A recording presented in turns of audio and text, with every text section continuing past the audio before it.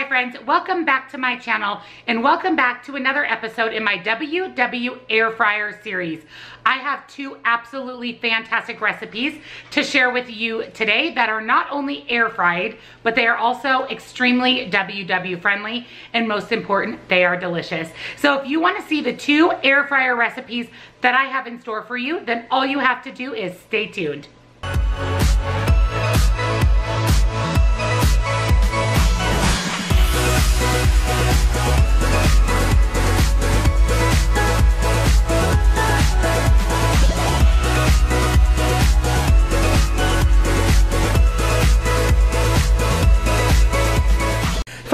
Air fryer dinner, we are going to be making air fryer taco egg rolls. How amazing does that sound?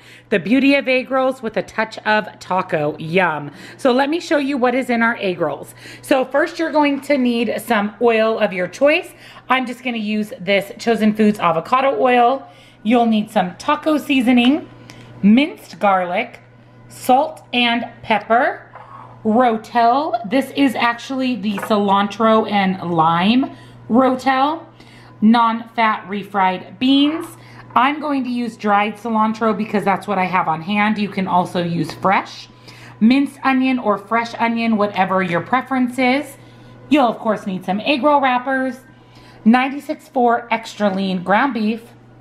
Frozen corn and cheese. I'm just gonna be using fat-free cheddar cheese. So let's get started on our air fryer taco egg rolls. The first thing that you're going to do is heat up a non-stick skillet, spray it with some non-stick cooking spray. You're gonna go ahead and add in your ground beef. Now, if you're using fresh onion versus minced, you would want to cook your onion down first. But since I'm using minced, I'm just going to add it directly to my ground beef. So I'm gonna go ahead and add in my minced onion equivalent of one onion. And then I'm also going to add in one big scoop of my minced garlic. And we're gonna go ahead and cook down our ground beef until it is browned. Once your hamburger begins to brown, you're gonna go ahead and add in some taco seasoning. The recipe calls for about a half of a package. So I'm just gonna put in a little bit of my taco seasoning. You're also going to add in some pepper and also some salt. And we're just gonna let our hamburger continue to brown. When your hamburger has browned, we're gonna go ahead and add in one half of a cup of frozen corn. We're also going to add in our can of the cilantro lime rotel. And then we're also going to add in our non-fat refried beans. The recipe calls for half of a can. So you're gonna wanna put in about half your can of your beans maybe. There we go. And then you can just save the other side for another dish. You could even add the whole can if you want because they are zero smart points. And we're just gonna let this all warm through and let those flavors meld. To assemble your egg rolls, you're gonna go ahead and take one of your egg roll wrappers and we are going to add our egg roll mixture to the middle. Now you don't want to overfill your egg rolls because you want them to form that nice perfectly shaped egg roll. We're also going to add a little bit of our fat-free cheese on top of our egg roll mixture. And then to fold your egg roll, the best way to do it is to fold it over diagonally to form a triangle. And you kind of want to squish your filling towards the center of your egg roll. So just kind of squish it all towards the center. And then you're gonna take the two side triangles and roll those in and then you're going to seal it closed with the other half of the triangle. So this is what the underside of your egg roll is going to look like. We're gonna brush that with just a little bit of water and then there is your egg roll. We'll spray these all with some olive oil spray before they go into the air fryer. So let's get all of our egg rolls assembled and ready to go.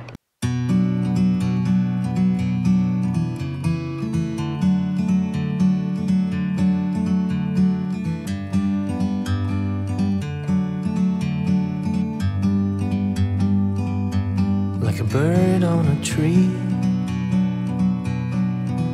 I'm just sitting here. Look at these egg rolls. These look delicious. My recipe made 16 egg rolls. So what we're gonna do next before these go into the air fryer is we're gonna go ahead and spray them with just some non-stick cooking spray. That's going to help them brown up really nice in the air fryer. Also helps everything kind of stick together and not stick to your air fryer's tray like mine or if you're using the basket it just kind of helps it not stick to the basket as well. So we're ready to pop these into the air fryer. So our air egg rolls are in our air fryer and ready to go. So we're gonna go ahead and shut our air fryer. We want to put these at about 400 degrees and we're gonna let them go for about 15 minutes. I am going to be checking them throughout the cooking process. And turn on my light here. And I'm also going to be flipping the trays, rotating them so that each layer on the air fryer gets nice and crispy. And in the meantime, I'm gonna get a veggie ready and I'll show you our completed egg rolls. So I just pulled our egg rolls out of the oven. These look so good. We're just gonna go ahead and sprinkle on just a little bit of cilantro on top of our egg rolls just to give that little extra bit of Mexican flair. I'm gonna go ahead and plate these up with some veggies. You can pair these with some sour cream or whatever you have on hand, but these look absolutely delicious. So let me get these plated up and then I will give you the smart points. So here is tonight's dinner. So I'm having some broccoli with some spray butter, salt, and pepper for zero. And then I'm having two of the taco egg rolls. Each egg roll is a total of three smart points. So not bad at all. So I'm having two. So this dinner here is a total of six smart points. For tonight's air fryer dinner, we are going to be having Mongolian beef. I don't know why this sounds amazing. Kind of a cross between that Japanese, Chinese. Really excited for tonight's dinner. We're just gonna pair that with some rice. So let me show you first what's in the Mongolian beef. So you're going to need some steak. I'm gonna go ahead and do petite sirloin. I grabbed two steaks. I'll trim all the visible fat. That should be plenty for the recipe. You're going to need some water, the recipe calls for green beans. I don't have any, so I'm going to substitute peas. And this is just about a quarter of the bag. You're going to need some avocado oil, light soy sauce, minced garlic, brown sugar alternative of your choice, some green onions, cornstarch, and ginger. And then we're just going to pair that with some jasmine rice. So let's get started on our Mongolian beef. So the first thing we need to do for our Mongolian beef is we're gonna chop up some green onions to top our dinner, and then we're going to remove the fat from our steak and slice it into thin slices that will be going directly into the air fryer.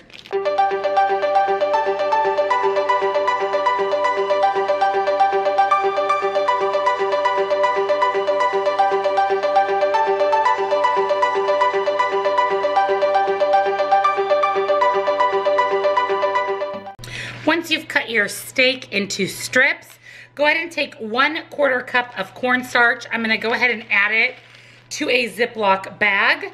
And then I'm going to put my steak pieces into the bag as well. And we're gonna give it a quick stir or shake. We wanna make sure that all of our steak pieces have been coated in the cornstarch. And then we're ready to get our steak into the air fryer. This is plenty of cornstarch for the steak that I have. We'll actually probably have a little bit left over in the bag, but just make sure that all your steak pieces, that they get nice and coated. Next, you're gonna grab your air fryer sheet or whatever kind of air fryer you have, and you're gonna put your steak strips either in your air fryer basket or on your cooking sheet like my air fryer here. And we're just gonna lay these all out and then these are ready to go into the air fryer. And while these are cooking up, we're gonna get our rice just started on the stove. Normally I cook my rice in my Instant Pot, but I think for just ease for tonight, uh, instead of having both appliances out, I'll go ahead and cook my rice directly onto the stove. And then we also need to make up our sauce for our Mongolian beef, but this is already getting me really excited for tonight's dinner. So I've got my steak here in my air fryer. So we are going to go ahead and put this at 390 and we're gonna let this cook for about nine minutes. We're gonna check it. We may have to add some additional time on, but our steak is gonna be cooking away. And in the meantime, let's get our rice going and get our sauce started. I've got my rice started here, one cup of rice, two cups of water, a little bit of salt. We're just gonna get this brought to a boil, reduce the heat, pop on our lid and our rice will be done perfectly in about 15 minutes. Now we're gonna put together our sauce. Excuse my air fryer noise here in the background. So for our sauce, we have two tablespoons of oil. The recipe calls for vegetable oil. I didn't have that, so I went ahead and used my avocado oil. We're also going to need one half of a teaspoon of ground ginger, one tablespoon of minced garlic. Get all that garlic, yum, out of our little bowl here. And then we're going to need one half of a cup of light soy sauce and one half of a cup of water. And lastly, three quarters of a cup of packed brown sugar. So mine is the Sukrin, of course. And then we're just gonna mix this together. Oh, yum. This looks delicious. And we're just gonna set this aside and then we'll get ready to warm this up in a saucepan as soon as our steak gets about halfway done. We're gonna cook down the, our sauce, but doesn't that look delish? Our rice has come to a boil, so I've reduced the heat, put the lid on. I've went ahead and added my sauce to another pan. It is on medium high heat. We're just gonna cook this until it combines, the sugar melts, it starts to thicken. And then we're actually gonna add our steak to this when it comes out of the air fryer. So let's get our sauce cooked and finish up our rice. And it should be perfect timing for our Mongolian beef. I just pulled the beef out of the air fryer. It looks delicious. So we're gonna go ahead and transfer this into the same pan as our sauce. So I'm gonna bring the pan over. I'll show you guys that. And then it just needs to sit in the sauce for five to 10 minutes so it can really absorb the flavors. This looks phenomenal. All right, so there's our sauce. We're just gonna use some tongs here and we're just gonna go ahead and pull our steak off and toss it into the sauce. And again, we're just gonna let it sit in the sauce for a good five to 10 minutes. And then we're just gonna add our peas right before we're ready to serve them. We just wanna make sure that our peas are cooked and warm, that they're not still cold. So I'm gonna get all the meat into the sauce and I'll be back in about five to 10 minutes. Well, five to 10 seconds for you. So here is our completed Mongolian beef, you guys. This tastes amazing. I tried a little piece of the meat. So good. So what I have here is half of a cup of jasmine rice for three smart points. And then I have one sixth of the Mongolian beef. One sixth is only four smart points. So not bad for all of this deliciousness. I put a little sauce on my rice, topped it with some green onions and some sesame seeds. So again, this entire dinner is three for the rice, four for the Mongolian beef, only seven smart points. Thank you for joining me in another episode of my WW Air Fryer series. Now, if you're on the fence about getting an air fryer, I highly recommend it. It is one of the staple small appliances in my household. That in my Instant Pot. I use them several times a week and there are so many amazing recipes that are WW and non-WW friendly that you can do a little few tweaks and make them fit into your program. So I highly recommend getting an air fryer. Mine is the Power of an Elite. It is linked down in my Amazon store below. So thank you so much for joining me in another episode of Two delicious WW air fryer recipes. If you're new to my channel, I'd love it if you take a moment, hit that little red subscribe button and that bell. That way you'll get notified every time that I upload a new video. You don't wanna miss out. Give this one a thumbs up. Comment down below. Let me know what recipe are you most excited to try. And if you don't have an air fryer, are you gonna plan on picking one up? Because there's a lot of recipes for the air fryer coming down in the future. So thank you so much for watching guys and I'll see you in the next one. Bye.